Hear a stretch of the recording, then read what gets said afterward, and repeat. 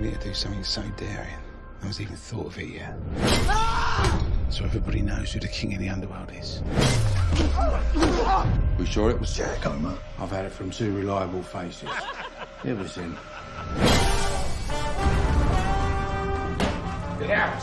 Drop the knife out. Stand up. As if one more weren't enough. Ah! Start rallying the troops, son. Tell Jack I want him out so. I Don't think he'll like that.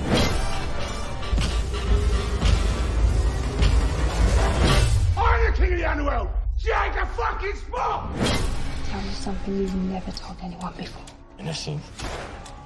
Did you have to, Frankie? I was just having a lark with these boys.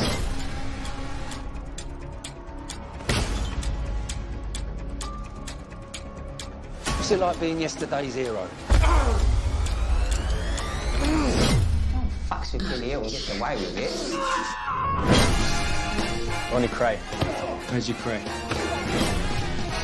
It's a my success.